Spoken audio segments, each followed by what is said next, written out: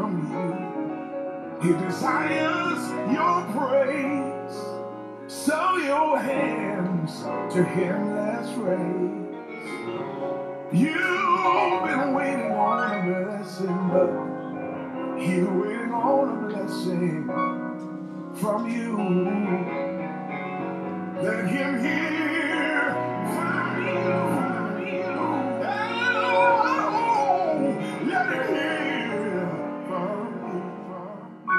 He desires your praise, so your hands to him let's raise. You know you've been waiting on a blessing, oh, but you're waiting on a blessing from you.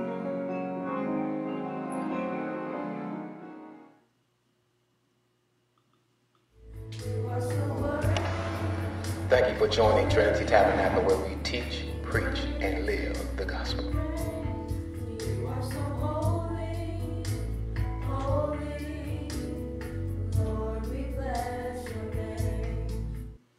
Thank you for joining us tonight for Bible study. We hope and pray that um, the prayers that you have put forth before God, that He has answered them. And if He has not, we pray and hope that you stay faithful, that you believe Him, that the prayer of the righteous availeth much. Before we get into the Word of God tonight, let's go to God in prayer. Eternal God, our Father, Lord, how we thank you for being God and for allowing us, your children, to be able to call upon you at any time um, for anything. So, Lord, we ask that you would hear our prayer and our request tonight, that you would open up our ears, that we might be able to hear what thus says the Lord, that we'll be able to um, be encouraged, that we'll be able to be reminded of who we are and, um, and whom's we are. So, Lord, we love you and we honor you. Let your will be done in us. In Jesus' name we pray. Praise God. Praise God. So tonight, um, I'm gonna read you a lot of scripture. Uh, I'm gonna read you a lot of scripture. We're gonna start off at the First Kings. Well, actually, we'll stay in First Kings, chapter 18, verses 19 through 41. So that's a ton of scripture, but I need to be able to tell you the whole story if you're not familiar with the story. So in First Kings, I'm reading a King James version and you'll find this here recorded. Different Bibles may say different things, but prayerfully they come to the same conclusion. Um, key verses will be 37, 38, and number 9. But um, 1 Kings verse 18, verse 19 through 41 says this. Now therefore send and gather to me of Israel unto Mount Carmel all the prophets of Baal 450, and the prophets of the groves 400, which eat at the Jezebel's table. So Ahab sent his children of Israel and gathered prophets together unto Mount Carmel. And Elijah came unto all the people and said, How long have ye be between two opinions? If the Lord be God, follow him. But if Baal, follow him. And the people answered not a word. Then said Elijah unto the people, I, even I, remain a prophet of the Lord, but Baal's prophets are four hundred and fifty men. Let them therefore give us two bullocks, and let them choose one bullock for themselves, and cut it into pieces, and lay it on wood, and put no fire under. And I will dress the other bullock, and lay it on wood, and put no fire under. And call ye all the names of your gods, and I will call on the name of the Lord, and the God that answereth by fire, let him be God. And all the people answered and said, It is well spoken. And Elijah said unto the prophet of Baal, Choose you one bullock for yourself, and dress it first. For ye are many, and call on the name of your gods, but put no fire under. That's the second time he said that. And they, and they took the bullock which they had given them, and dressed it, and called on the name of Baal from morning, even noon, saying, O Baal, hear us.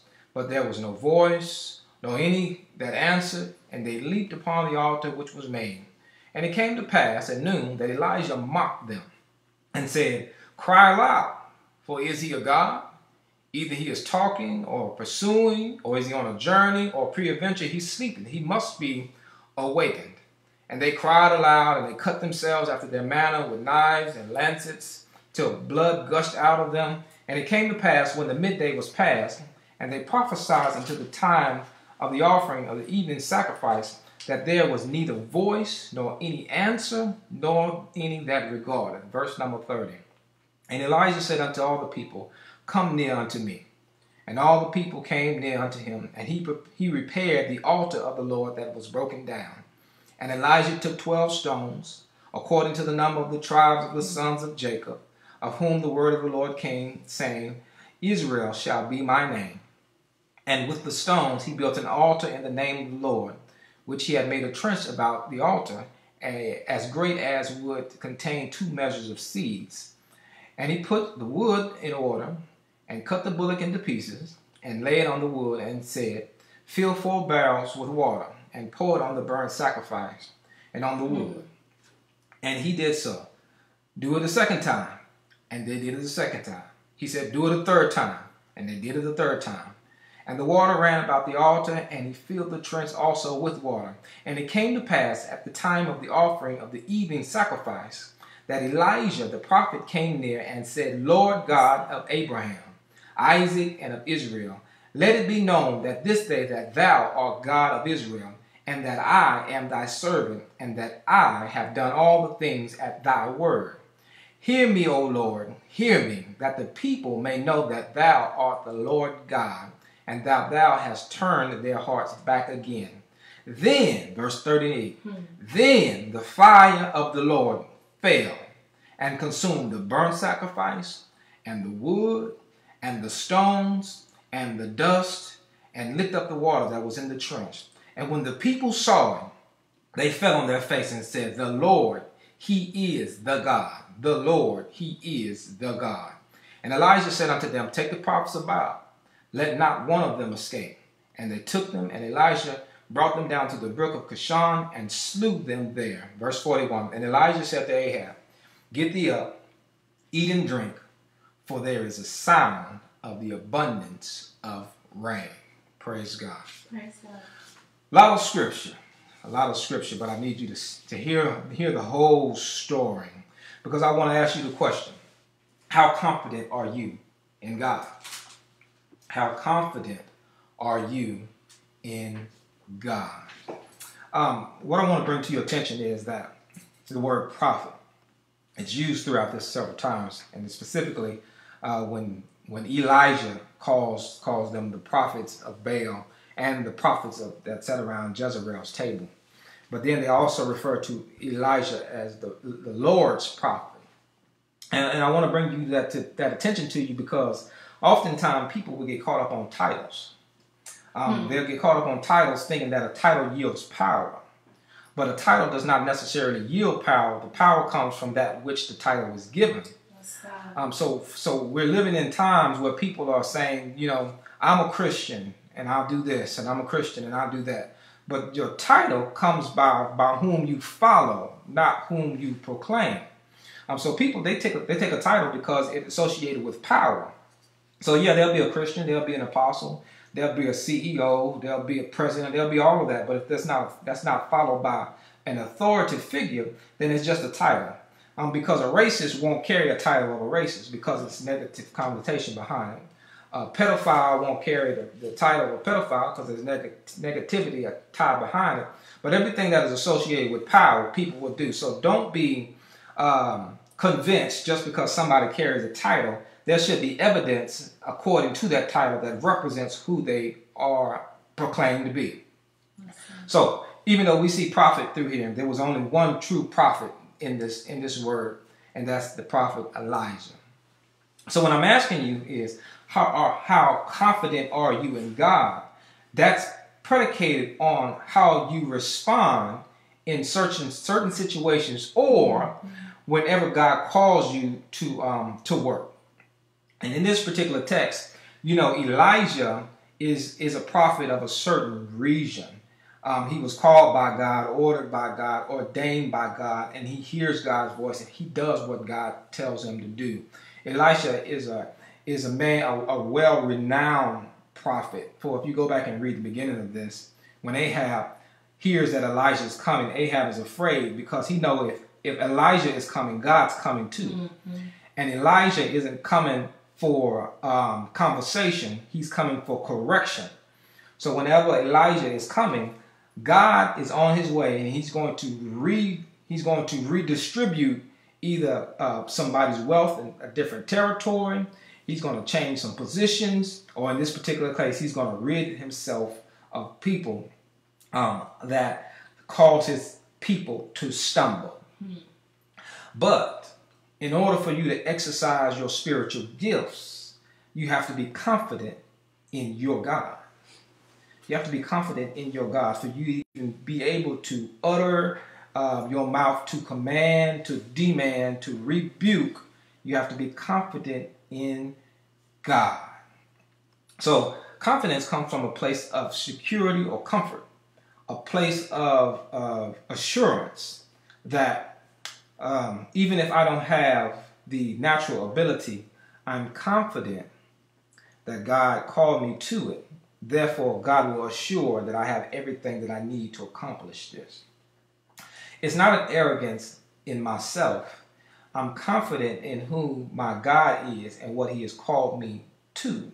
So, therefore, if I'm confident in that, um, the issues that I that we naturally struggle in life, uh, far as having right resources or being in the right place or knowing the right people, if God truly aligned you or created that for you, the confidence should come that God should supply my needs and not according to what I see, right? Right. Um, so Elijah, being in, being here, notice the text that there are over 800 prophets that are here, and Elijah is not concerned about what they can do to him, what they can say, or what they can conjure up by their false gods, because Elijah is confident in his God.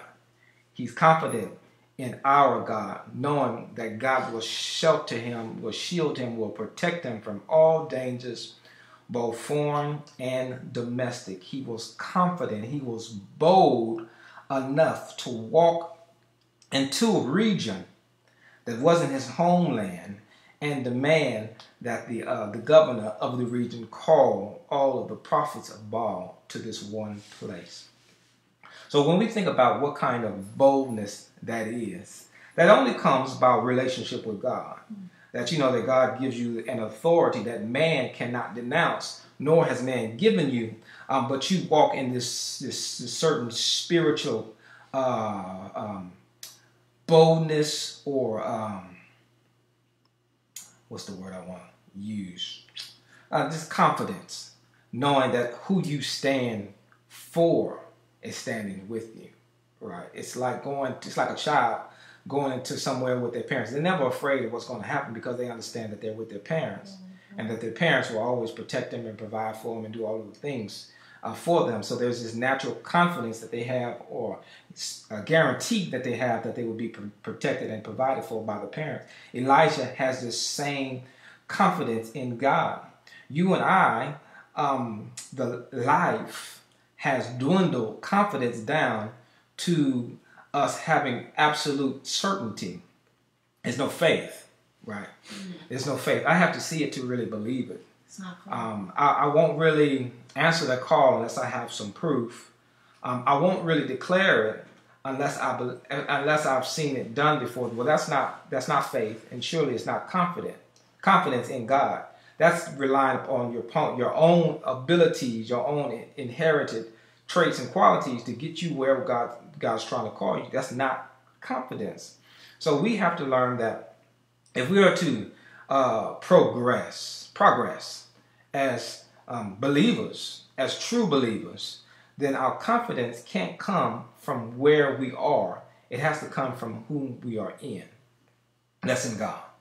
So Elijah has this, this, this, this, this stout confidence in who God is and what God demands that he calls 450 of Baal's prophets, 400 of Jezebel, four, no, 400 of Baal's, and 400 of, of Jezebel's, verse 19, and um, Jezreel's, Jezebel's table.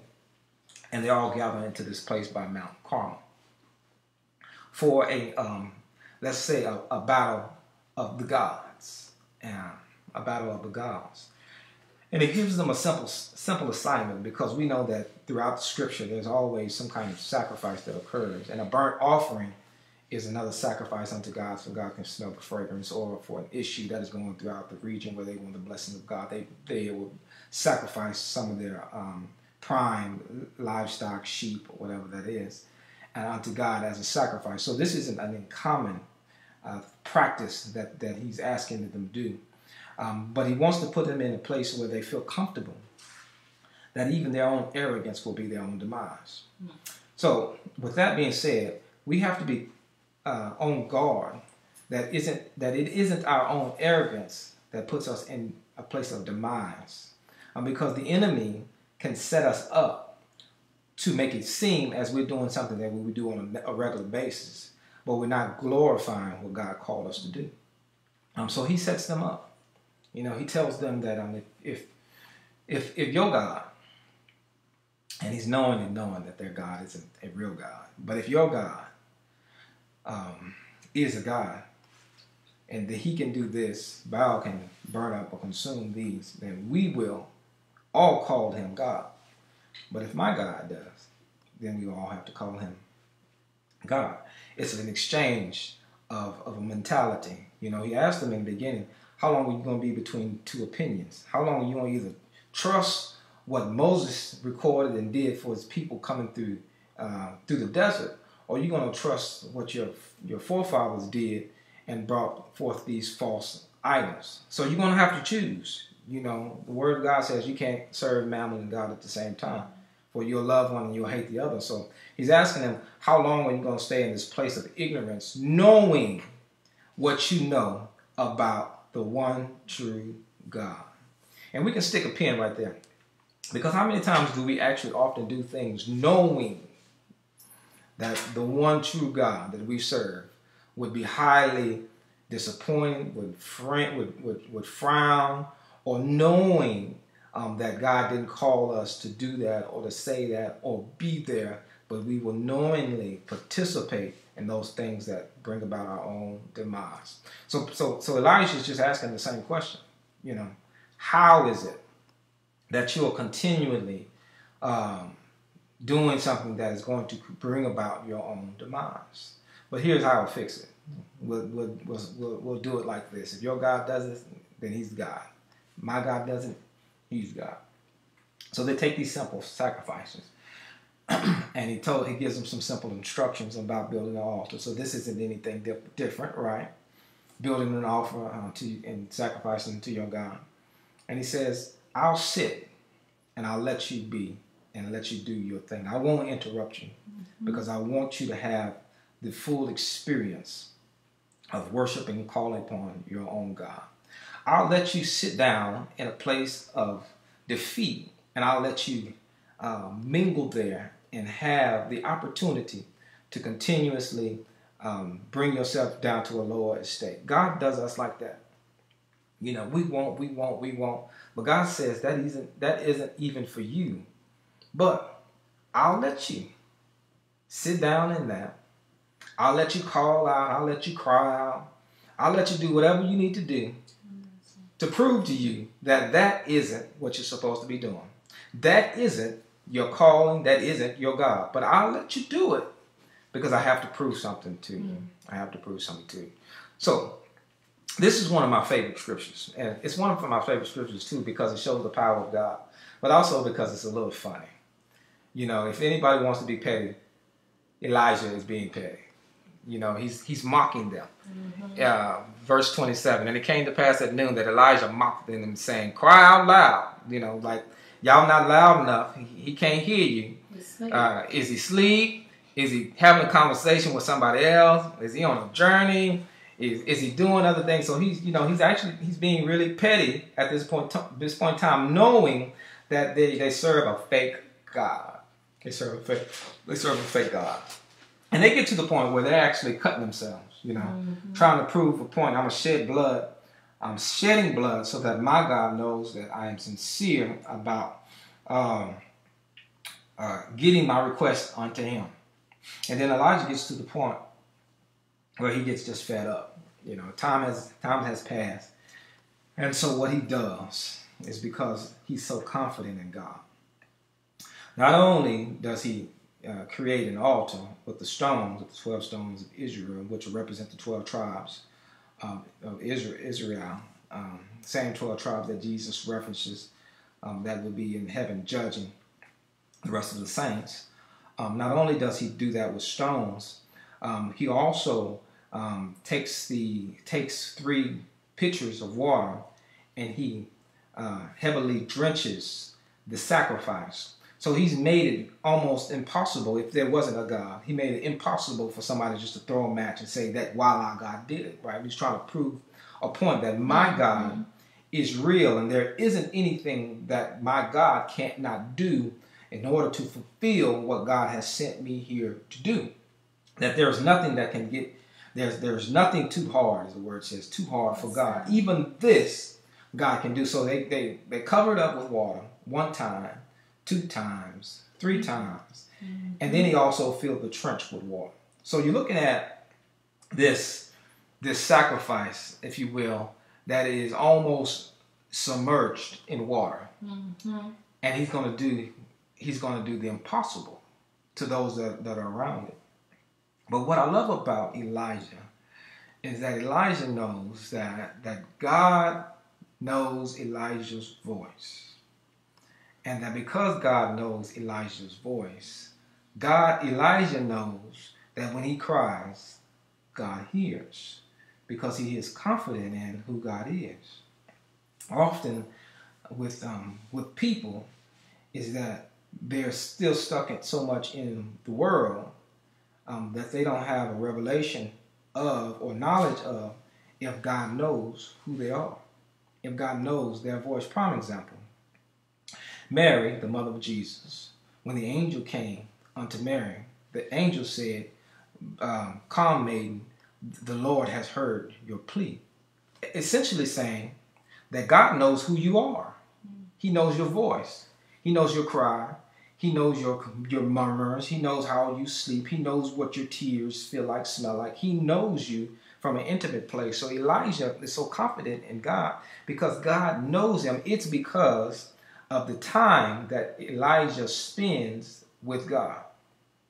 So that goes back to saying, how much time do we spend with God?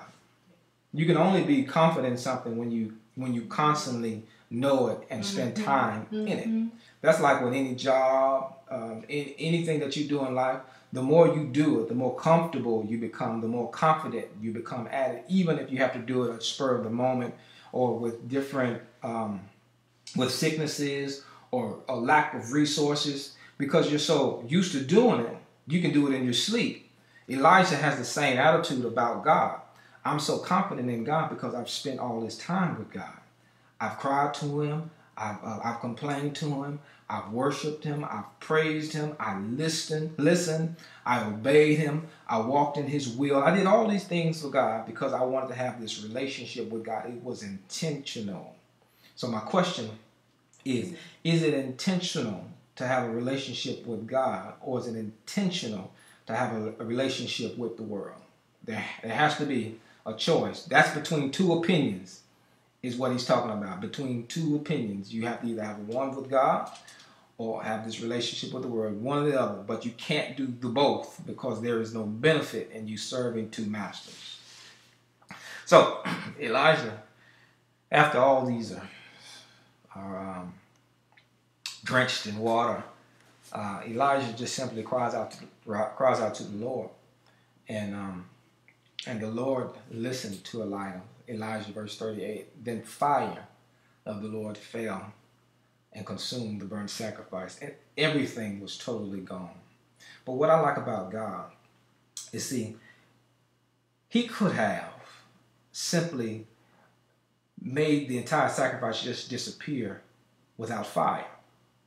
He could have removed it. Um, he could have had birds or uh, worms come up and consume it. He did what Elijah asked because of his relationship and his confidence in God. See, we, we struggle with um, with our petitions. Make your your petition made unto on, made known unto God, and the peace of God that surpasses all understanding.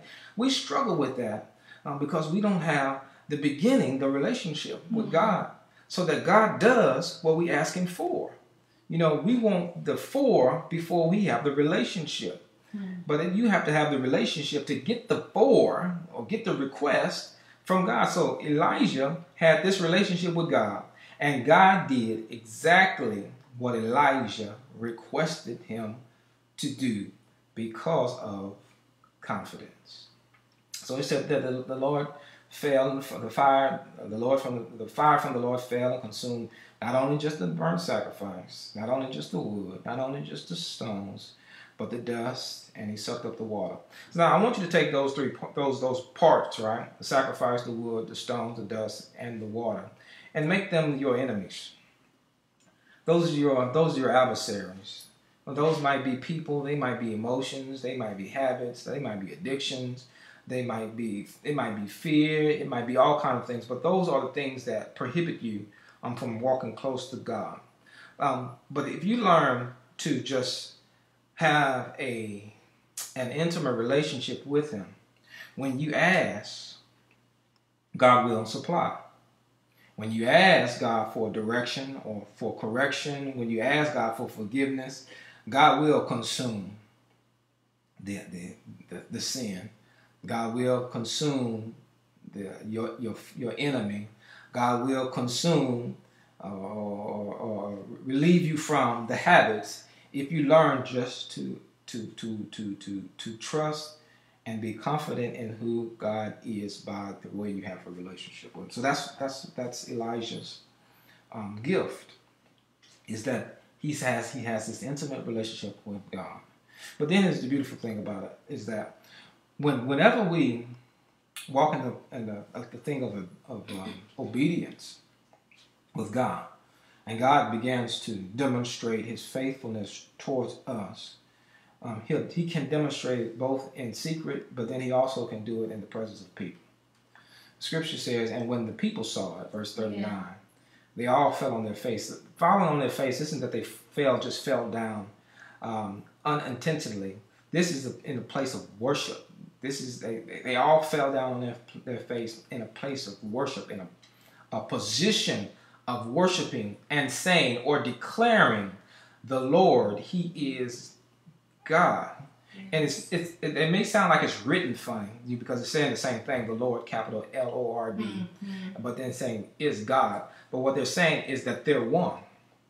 It's not two different ones, not three different ones. It's not Baal. It's not uh, uh, the, the, the whomever God is over there and the God of the trees and that. He said, no, the Lord, the Creator, i- the Creator, the Almighty, I am. He is God. It is one. The Lord, He is God, and that is a testament about how you learn to um, be in agreement uh, with God as you determine or you learn who He is, who He is. So they're walking, and Elijah has requested, and the, and the Lord has consumed all of the um, the sacrifices and all the things that are around it. Um, the people's hearts are beginning to, to to change, and they're going to to love on God because that was the the request that if your God does it, then we declare He's God. But if my God does it, then He is God. And but then here's the thing about God is that those that um, a prophet, let's say like this, a prophet has the same gift or calling as a teacher or a pastor would because they're declaring things of the Spirit. They're teaching things of the Spirit of God. So the prophet that um, misleads uh, the people of God, there's a consequence for that. When you go back to the scripture, you look at the New Testament, it describes that the pastor is, has a watch over his congregation's soul. There's a requirement of him to do what's right. If not, Right. there's a reward for that. And I don't mean a, a good reward, it means that there's a consequence that comes along with him not doing the, the saints of God right. So that there's a consequence that came from uh, Baal's prophets misleading the children of Israel. And here it is, verse 40. And Elijah said unto them, Take the prophets let not one of them escape. So remember, it was 450. Take the prophets, let not one of them escape. And he took them to the brook and uh, the brook of Kishon and slew them. That, that's that's death. So the people, and we'll make this just as if they're your enemies, they're your issues in life, whatever those things are. Um, when you learn to have confidence in God, when you learn to trust God, when you learn to depend on God, when you learn to have a relationship with God, when God begins to prove himself, as the word says, test and see that the Lord is good. When God begins to prove himself unto you, those things that came against you or people, uh, God will give them their due reward. So this is why it's important to understand that scripture that when, when the Lord says that vengeance is mine, I shall repay. So you don't have to get back those that have done wrong to you. When God begins to prove that you are His, then God will begin. Um, he will begin to pray. But the question is, how confident are you in God? How confident are you knowing that God will do exactly what you, um, exactly what He said He would do, if you would learn to be or um, to follow what He has said you should be or said you should follow? It's about a relationship. It's about a relationship, and understanding that even um, even a prophet has issues with um, battling. What's the word? Um, battling depression, battling self-esteem, um, battling relationships. So it's not about uncertainties. It's not about being perfect. Mm-mm, it's not about that. There was nothing perfect about Elijah except for his ability to follow God. He was still a man. So it's not about perfection, but it's, it's about um, striving to become better, striving to move from a, a place of darkness to a place of light. So it's not about you walking in perfection as you're going to do everything. You're absolutely not going to do everything right because the, ta- the tale of times has a way of tempting and trying people, but it's about you trying to walk in perfection with God. So Elijah knows that, and you continue to read the stories about um, the scriptures about Elijah. Elijah is a wonderful prophet, a, powerful prophet, and he, he doesn't stop just there. He also picks up um, some help along the way, and Elisha. Um, and Elisha carries, continues to carry the mantle for Elijah. Um, but when you have this this unbreakable bond with God. Um, as the scripture says, why be concerned about what man can do to you when he can just kill the body? Be more concerned about God who can kill the body and the soul. So my my desire is to trust God, even if that means that I have to go stand in the crowd of 850 people and tell 450 of them you are absolutely wrong in the way you're delivering your message to God's people. And if you don't, I can declare to you what I know God will do and walk off and not even be afraid. That's confidence. I'm not looking back. I'm not going to change my address. I'm not going to stop answering my phone because I know that my God will be my shield, my sword, my buckler. He will be my help, my redeemer. He'll be everything I need him to be because I'm doing what He had called me to do, even if I have to do it by myself. How confident are you in God? What is it that you haven't done that you lack the confidence that of believing that God called you to it? What is it that you have left undone um, because you had to do it all by yourself? It's all about just confidence and having confidence in the right the right way and not an arrogance in yourself. Praise God. Um, let us pray. Father, we thank you for this opportunity to look at your word this evening. We ask, oh God, that um, you would remove those things that cause us to uh, put our trust and our faith and our belief in uh, things aside from you. We ask that you uh, tear down every single stronghold, that you would uh, remove every single thing that attempts to exalt itself above you, and allow us, Father, to boldly declare that you are the Lord, that you are God, that you are the one true God, and aside from you, there is no other.